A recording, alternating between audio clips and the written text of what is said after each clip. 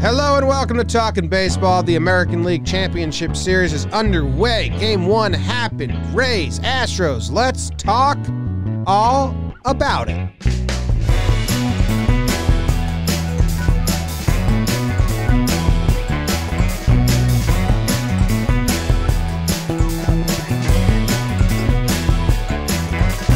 Hello and welcome to Talking Baseball. Thank you very much for joining us. If you're new, if you're old, if you're in between, appreciate you. Coming to you live from the Roosevelt Studios in the Bronx. My name's Jimmy. I got Jake sitting right next to me. He's wearing a Roosevelt shirt, our favorite Roosevelt shirt. Got Trev in California and Bug Bug Dude behind the dish. Only one game to recap today, so it's probably going to be a quicker episode than normal. It's uh, the American League Championship Series, game number one. Rays versus the Astros out in San Diego. Snell versus Framber. But first, Trev, how are you doing? As I expressed to you guys earlier, I had an all time sports night. It'll never, ever happen again in the history of my life. If that makes any sense. Lakers win. My Seahawks come back in crazy fashion to win the game. And then the Rays raised all over the Astros. It was an excellent night. Doesn't happen like that all the time. And specifically, all three of those happening at the same time, never going to happen again. So I enjoyed uh, this particular evening in 2020. So Congrats pretty to you. good today. Was Arch happy for you? He was. He left before the game started, but we had a good we had a good little day yesterday. A nice little uh, afternoon hangout sesh. Okay. he did ask you about you guys. He said, "How are those two little idiots doing after the Yankees What did he say? lost?" Oh, I mean, I said that. I I made that part up. You he did ask how you part. guys were doing. You said they're two little idiots and I they're struggling with the so Yankees. much, but I also love them. Did you ask him where he's going in free agency? Well, he has a team option, so he has to wait to see if the Pirates will pick that up, which is Well, how much is it not. for? Why would they pick it up? They're like in a total rebuild. It's an asset. If it's the yeah. right If they want to take him and try to trade him, if they think he can Mm, be yeah. worth something, you know. What's Okay. the number?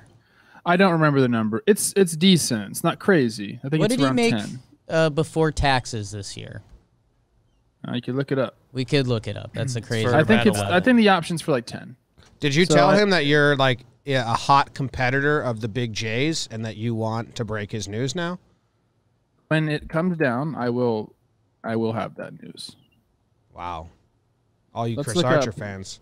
I'm sure it says here. I'll look it up right now. It's 11. 11 million. He he told me yesterday he's doesn't.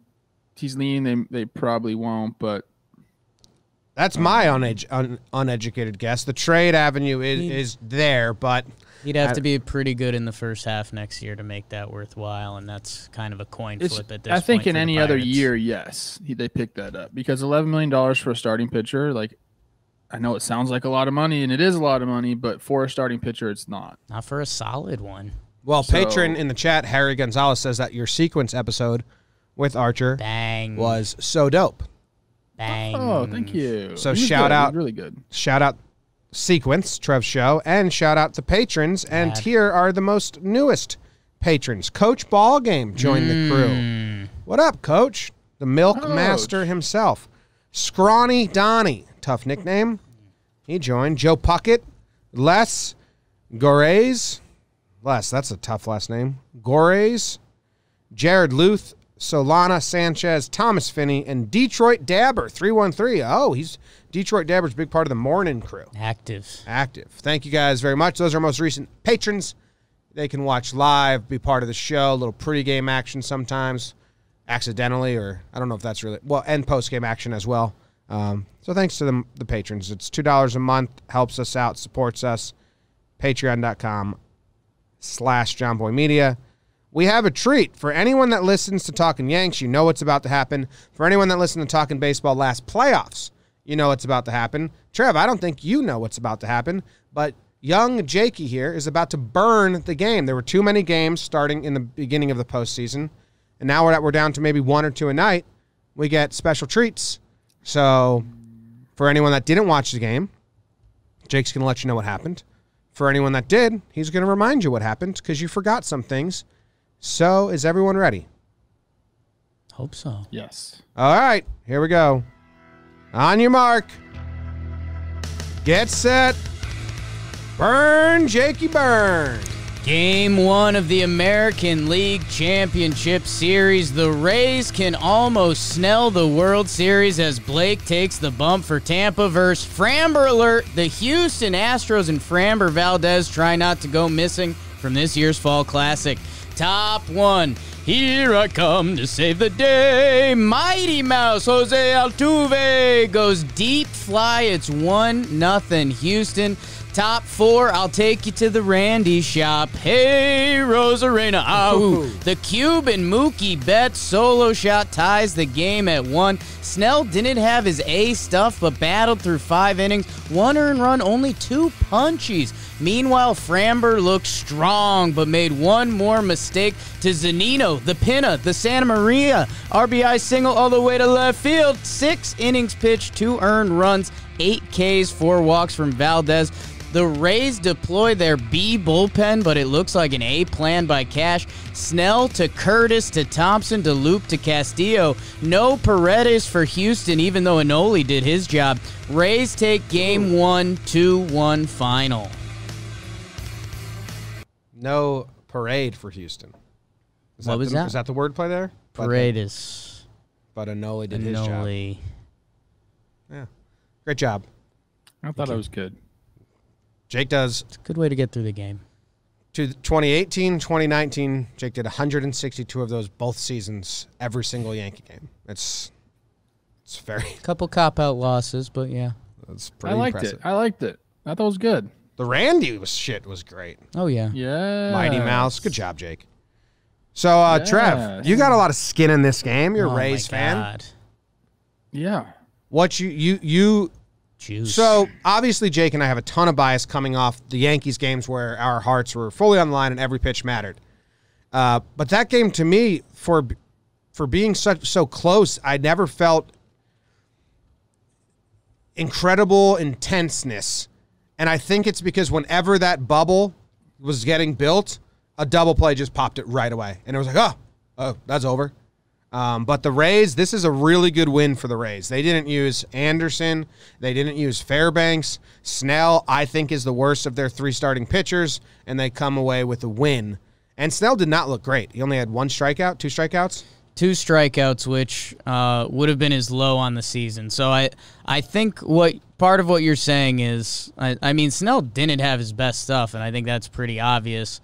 Um, and I, I think there is some credit to him. You know, he did get a couple timely double plays, but to get through five innings, one earned run, uh, only getting two strikeouts when you know you're Blake Snell, you're a guy that's had nine, eight Ks in a lot of games this season. There's something to that. Yeah. Trev, we were shocked they sent Snell back out for the fifth. Can you hear us? I got you. Yeah. When they sent him back out to face the top the third time, because I thought he looked pretty beat up or not sharp. But I think that's that's the no off days coming to effect. Like we need five from you, Snell. A hundred percent. That's exactly what it was. And you guys give Snell zero credit. Look Just what his- gave him credit. Look what he's done in the playoffs. He's got two eight seven in the playoffs. Five innings yesterday. Yes, six hits, only two strikeouts, but he got the job done. The the results are there, but you have to admit he didn't look like on his A game last night. I don't know. I would take that start. So would Cash. Every every single game you put Snell out there, you would take that start. And like you said, you know they didn't go to their A guys right away, which is I don't I don't know the reasoning behind that. Um, but uh, it worked out for them. And to your point, I think you're right. I think a lot of the times when there was huge pressure situations building up, uh, like Gurriel with bases loaded, first pitch double play ground ball, Tucker back up the middle line drive double play, like it just kind of went the Rays' way yesterday, and it went quickly. Uh, but there was some good at bats. Zunino hopping on the first pitch. I don't even think that was a mistake from Framber. You know I love Framber. That was kind of a, a weird thing for me last night. Watching that guy pitch It's so much fun. But kind of like rooting against him. I, there, I have nothing against Framber. He's not part of that 2017 team at all. So like you can root for that guy and it be okay. And I was last night. He pitched great. Uh, I thought that was just an all around clean, fun baseball game. The Framber- Arozarena homer, there was some cool stuff that I'm going to be doing on um, sequence about it. Some different plays uh, that Maldonado was trying to get. There was a shake that he probably shouldn't have shook, or maybe should have shook. Uh, but I mean, I thought it was great.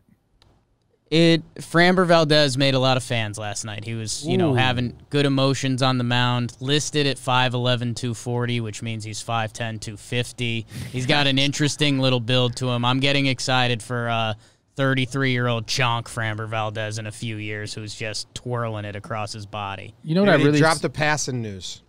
Uh-oh. Passing news. Passing. Rick Renteria fired by the White Sox. good. Wow. Trevor? I was never a fan. Plouffe? That's tough. That's another manager that got the rebuild, but ain't gonna get the the build. Uh, I might bring Kepler in. It happens a lot, but Trev? he A lot of young guys? Sam Fuld. Danny- Sam Fuld's getting a managerial job this offseason. Danny Mendick? He does love me. Um, White Sox fans did not like Renteria, and No, anyone saw how mismanaged he did the wild card. it wasn't So good. there's probably more behind the scenes than we know, but breaking. good. Bringing someone fun. Let me let's bring it back to Framber because I do think this Sure. is a guy we can root for. yeah. I do. I love the body type. A uh, couple things I noticed about Framber yesterday. His hat and his glove are way too small for him. What, Mm. What's up with that? That's I think such a he's so- pitcher I move, think though. He's very thick. He's like, I don't use this shit. That's anyway. such a pitcher move, and he made that behind the back snag, baby. Did So you see his gl- his glove is like a second baseman's glove, Yeah. and it's like has the kind of the trapeze I open love web. that. Like Maybe he came up as a second baseman. I love that. it was. So I was watching. I was like, why is his glove so little? The old, Framber made a fan of Jake and I. Like, old not that we ever thick weren't. lefty second base. Yeah, yeah. You don't see Thick enough of lefty them. You don't see enough I of could- them. He probably Ugla. rakes in BP. Oh, he Framber hits bombs. Yes. Framber hits bombs. No, he made a fan out of me with his pitching and with how much he talks to himself on the mound. Yeah. How much he smiles. And then that behind the bag play was awesome. You Yeah. want to talk about uh we talk about Cash and we give him credit all the time about how he manages the bullpen and everything like that. Um, last night I thought he made a mistake. Mm. You have Aaron Loup coming in to face Brantley. He plunks him right away. You got to face three batters. So he had Aaron Loup up there to face Altu- was it Altuve? It was then- he he hit Brantley. It's No, Bregman, uh, Bregman Correa, and Correa. Tucker. Sorry. That's doesn't seem like what you want when you have Diego loose in the pen. So like maybe it was a genius move because it ended up working out, I guess, because Diego got him out of that mess. But to me, that was a mistake, and I, I don't I don't think we're going to be seeing that happen again. Maybe I guess it might have to happen over seven games, but uh, I think Cash is going to look back at that and be like, ah, I probably should have went with somebody different there. His reaction was hilarious. Is so mad. Good camera work by TBS. you think he forgot there was a three batter minimum rule? I think the Rays just Ray, man. I mean, look at again, like you know, Curtiss Thompson and Loup. You know, you might know Aaron Loup, a guy that's been around the league for a while. I almost like you were saying, Trev. I mean, he was pumping 95. Maybe the maybe the guns juiced up a little bit, and I think it is. But um, the Rays got these dudes, and the Loup was crazy. I mean, eighth inning when he does hit Brantley, you now have the game, essentially the game-winning runs up in Bregman and Correa. Um, you know, two of the he punches Breggs pretty easily, and then he fights back in the Correa bat, but he walks him because he's got first base open after the wild pitch, which then brings up Tucker. Tucker goes first pitch hunting. Now it's bases hucked, one out, and they go to Castillo. First pitch double play ball, um, and just like that, uh, the Rays are out of it. Which they they had a couple they had a couple perfectly timed double plays, which you know for how much we love and respect the Rays, you know you can't draw it up like that. But it worked out for them last night. Yeah. Did we lose Trev for a little bit? Yep, sent him a new link. He'll be Alright. back. We'll be back. Then, uh, as we wait for Trev, Jake, in the White Sox announcement tweet that they've like they parted ways with Renteria, they say Renteria completed his fourth season as White Sox manager in 2020, leading to the Sox to a 583 record and a tie for second place in the American League Central. The White Sox lost their best of three AL po- postseason wildcard series in a three game to the Oakland Athletics. In his four seasons at the helm, Renteria, it's so weird that they snuck that line in Yeah. there. like, it's just seems like they're like, this is why we fired him. It's so weird to just put that line in there. Who knows? Like Good that- job. Get out of town. Could easily not be in there and just says he led them to the wild card series in his four seasons at the helm. He guided them to this combined record. Kind of funny. Seems like a little dick punch. Probably is. Yeah. Fired him. That's a pretty big dick punch. Is that our first uh, managerial vacancy of 2021? Uh, no, the Red Sox. so. Red Sox. Oh, Red Sox Roenicke. and uh, Gardenhire like last week of the season. Oh, yeah. So we have three. Tires, There's three jobs at the moment. Roberts in a couple weeks. Renteria was also fired as Cubs manager in 2014 and won the World Series in 2016. Oh. Ooh, I like that. Oh, so yeah, you have to do that as a good juju play. Uh, Ricky needed to go completely mismanage the bullpen consistently down that rough stretch towards the end of the season. Says patron X exe edits. I, I it was like you it was you were it'd be hard pressed to find someone in the over the last month that was like giving Renteria kudos. Yeah. White Sox fans, casual analysis, anyone. It just sucks to be the rebuild manager and not the building manager. And you wonder, like, you know, is Hyde? Is this going to happen to Brandon Hyde with the Orioles if they ever flip the script? Um, did it? Did it just happen to? Well, no, the Tigers aren't there yet. The Royals have Matheny got your now. guy Matheny, yeah. Yeah, I don't know. I mean, it's for me, it's Did tough. Tingler just do that to Green? Yeah, I guess so in the Padres. Um you you wonder again, we don't know all the all the writing on the wall stuff. Um with a firing like that, it makes you think even if they won the wild card set, they still were gonna fire him. Um but yeah, I mean it's it's brutal. They won that first game and then like Luis Robert, you know, you're talking about Renteria's last month of managing. I think Luis Robert was so so bad for the last month, and it's like that's probably not on him. But that's the game. Lost Trev for a bit, so if there's an awkward cut there, that's what happened. But Trev, I wanted to tell you the Loup situation um, and Castillo. I I, I kind of walked into this on the pregame show we did is that I didn't think the Rays wanted to use any of their top three in this game and still win, even if it was close. Um, Anderson threw 32 pitches in game five.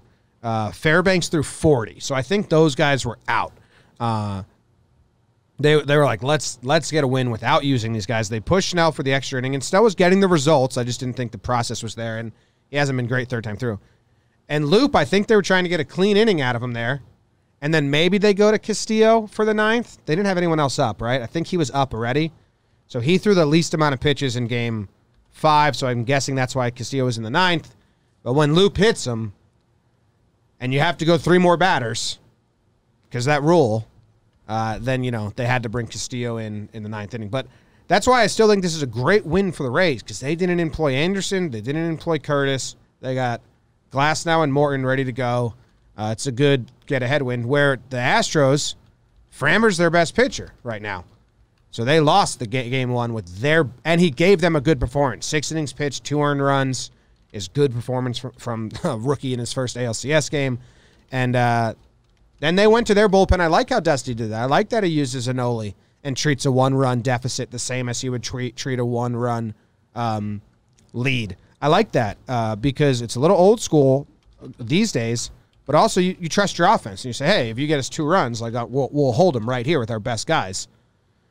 But it's a little bit of a punch that they use their best guys, best starter. Um, they didn't use Pressly, right? Just Enoli, Just Anoli, but he's their second best reliever this postseason. Like Taylor and Brooks Raley. So, bit of a punch by the Rays. All the double plays balls are crazy though. It's Am. I, cr- am I crazy? I know he literally just got added onto the roster and was hurt most of the year, but Jose Alvarado seems to me like he fits more with the Rays plans, but maybe not the right time to bring him in in a one-run game. So I could see that. I just when Loup came in, there's really no offense to Loup. It's just that he just doesn't fit that Rays bullpen mold. Maybe I have a little bit of resentment. I got designated for assignment by the mm-hmm. Phillies for Aaron Loup one year at the trade oh. deadline. Now we're talking. Maybe I hold some resentment. Yes. But to me, like I said, he just doesn't fit that mold. But look, the job got done. Rays win the game. The Astros, I, I don't want to wake them up, but it feels like you win a big series and then you have to come play the Rays. There might be a little bit of a letdown from them here. They got to show me something tonight. They got to show some fight tonight. Yeah. Uh, Kiermaier and Springer both caught on the bases. Little center field action. That's fun. Um, yeah, man, it's it's weird looking back at this box score. I mean, Rays left nine on base. Houston left ten on base. Um, I don't know. Um, Rays get through it. They they have to use Castillo, who goes 1.2 with 17 pitches because of the big first pitch double play. It, it's just Rays baseball. You're you're right. Like that feeling of seeing Aaron Loup coming into that situation almost doesn't feel right. Uh, but the Rays find a way, and now they're set up pretty good for today. I mean, they could go Charlie Morton to their two good guys if they want. I think Thompson is going to be a problem this series. Um, we've talked about uh, you know, seeing guys and seeing pitchers. Thompson throws absolute funk. I think it's the fifth lowest release point in Major League Baseball. So I think Springer, Altuve, Bregman, Correa get used to seeing him. Um, I and he's not just like a sidewinder. Like he he throws 93 from down there, which normally you know if someone throws from there, it's like ah 86 with movement. Like no, this dude, this dude hucks it. I think he's going to be a problem and yeah, Rays. It felt like it wasn't the Rays A effort. It felt like a B minus effort, and they still got a nice win. It felt like a hangover performance from the Rays, and they still Yes. won. But look, you know, I gotta say sorry to Loup because you look at his numbers. I mean, he. Nice career. No, I'm just saying this year in particular too. In 2020 here with 252, he was in 24 games, 25 innings pitched. I mean, he's he's been doing it. So I guess I could see why, you know, that situation makes sense. But It doesn't. If they want to throw their A starters, they're not using Loup there. You're fair to say that. They used him in the just a weird time to. They didn't him use in. him in the ALCS uh, or ALDS against the Yankees at all. Uh, they kind of bashed lefties, so you're not going to throw a lesser lefty out there. They used him once in the divisional series against Toronto. I think they were up big, and he gave up. He gave up a hit to his first batter, uh, Joe Panik. Got the next two out, and then they pulled him right after the three minute batter minimum came out. So that might be the story here with Loup. If they are up by four or more, they'll probably throw him against some lefties again and be like, "Go get us three outs, please." And Trev, I mean, it's one one of your things. I mean, it's not like the Rays were making this up. I'm I'm sure coming into this game, they said, "Hey, if we have a nice Brantley spot," um, and I I was trying to say this on the live stream, but I didn't know the best way to do it. But I guess with Aaron Loup being a veteran, like, hey, go get Brantley.